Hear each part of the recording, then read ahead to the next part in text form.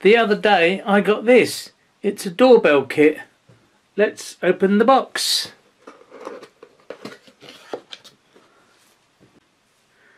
Instructions, doorbell itself, bell push, short amount of cable and some cable clips. Take the cover off the bell and here it is. Just a normal bell. The odd thing about this one is it actually uses a 9 volt battery. As you can see batteries installed. Let's wire up the bell push and press the button.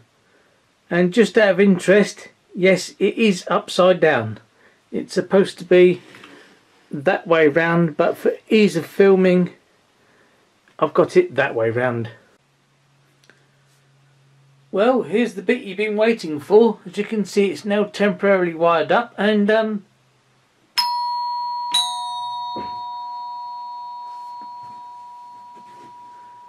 action replay.